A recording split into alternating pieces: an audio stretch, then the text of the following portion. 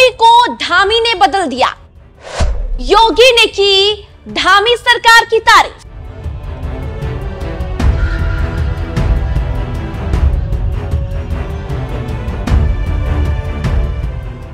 नमस्कार, NMF news देख रहे हैं आप और मैं हूँ आपके साथ वागीशा पांडे।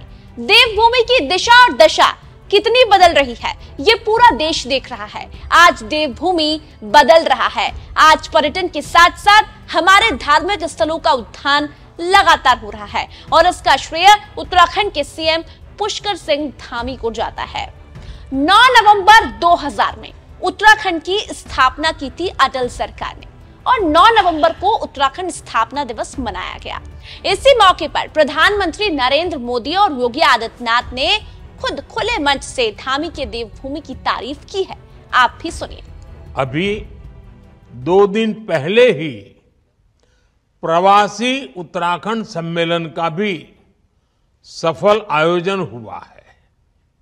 मुझे विश्वास है, हमारे प्रवासी उत्तराखंड वासी राज्य की विकास यात्रा में ऐसे ही बड़ी भूमिका निभाते रहेंगे।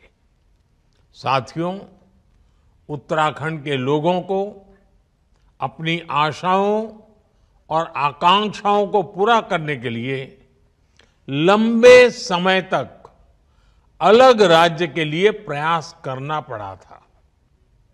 ये प्रयास तब पूरे हुए जब केंद्र में श्रद्धे अटल जी के नेतृत्व में, बीजेपी के नेतृत्व में एनडीए की सरकार बनी। मुझे खुशी है कि जिस सपने के साथ उत्तराखंड का गठन हुआ था, वो हम सब साकार होते देख रहे हैं। देवभूमि उत्तराखंड ने हम सभी को, भाजपा को, हमेशा खूब सारा प्यार दिया है। अपनत्व दिया है। भाजपा भी देवभूमि की सेवा की भावना से उत्तराखंड के विकास में कोई कोर कसर बाकी नहीं छोड़ रही है। साथियों, कुछ दिन पहले ही केदारनाथ मंदिर के कपाट बंद हुए हैं। कुछ साल पहले बाबा केदार के दर्शन के बाद उनके चरणों में बैठकर मैंने बड़े विश्वास से कहा था कि ये दशक उत्तराखंड का दशक होगा। बीते वर्षों में उत्तराखंड ने मेरे इस विश्वास को सही साबित किया है। तो सुना आपने मोदी ने भी देवभूमि को लेकर कहा है कि उत्तराखंड में पर्यटन से जुड़े अवसरों को नई गति मिल रही है, जिससे न केवल स्थानीय युवाओं को अपने घर के पास ही रोज़गार के नए अवसर प्राप्त हो रहे हैं, बल्कि इससे प्रदेश की आर्थिकी को भी सुदृढ़ता मिल रही है। योगी ने भी धामी की तारीफ़ खुले मंच से की है। योगी ने उत्तराखंड का नाम लेते हुए कहा कि किस तरह से उत्तराखंड देवभूमि बदल रहा है। पहले का देवभूमि और अब के देवभूमि, आप फ़र्क देखिए। हमारे जो धार्मिक स्थल है, उनका कितना उत्थान हो रहा है। आप भी योगी को सुनिए। अपनी विरासत को एक नई ऊंचाई तक पहुँचाने के लिए आज उत्तराखंड में बहुत सारे कार्य हो रहे हैं।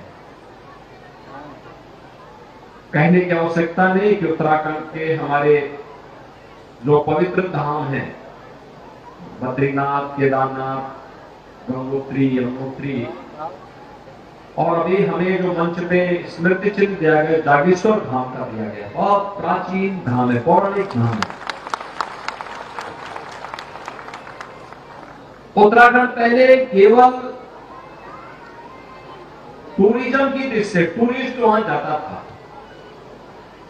यद्यपि पौराणिक कालखंड से ही वहाँ पर लोग श्रद्धा भाव के साथ जाते थे श्रद्धालु जन बड़ी मात्रा में जाते थे। लेकिन एक समय उनका स्थान टूरिस्ट ने ले लिया।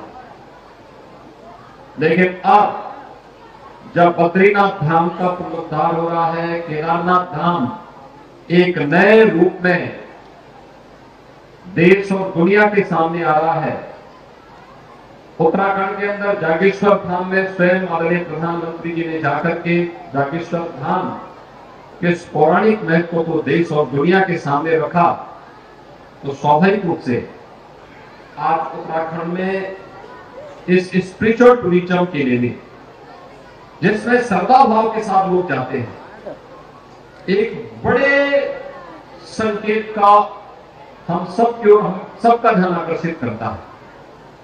और मेरा मानना है कि यह केवल वहाँ पर इतने श्रद्धालु और टूरिस्ट ही नहीं जाएगा, बल्कि यह रोज़गार सृजन का भी एक माध्यम मिलेगा। बहुत बड़ा रोज़गार सृजन का एक माध्यम मिलेगा। तो सुना आपने, योगी आदित्यनाथ ने कहा है कि श्री केदारनाथ धाम नए रूप में देश और दुनिया के सामने आ रहा है। उत्तराखंड में आध्यात्मिक पर्यटन के लिए लोग श्रद्धा भाव के साथ आते हैं। यह रोज़गार सृजन का एक बहुत बड़ा माध्यम बनेगा। आज देवभूमि कितना बदल गया है? आज पर्यटन के साथ साथ देवभूमि में रोज़गार बढ़ रहा है और दूसरे राज्यों को इससे सीखने की ज़रूरत है।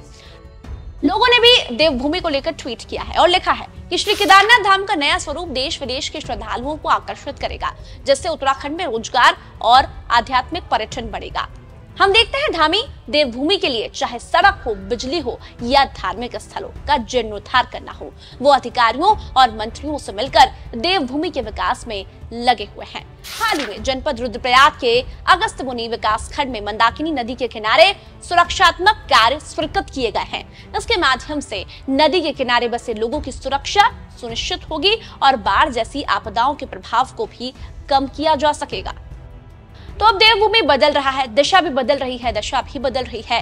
नया रूप देवभूमि ले रहा है और एक समय आएगा कि सीएम धामी राज्य को विकास के मामले में पहले पायदान पर लाएँगे, जिसकी तारीफ़ देश नहीं, बल्कि दुनिया में भी होगी। आपको भी लगता है कि देवभूमि बहुत बदल गया है तो अपनी राय इस वीडियो में कमेंट करके ज़रूर रखिए। इस वीडियो को ज़्यादा से ज़्यादा शेयर कीजिए, लाइक कीजिए और एनिमेफ न्यूज़ को सब्सक्राइब कीजिए। धन्यवाद।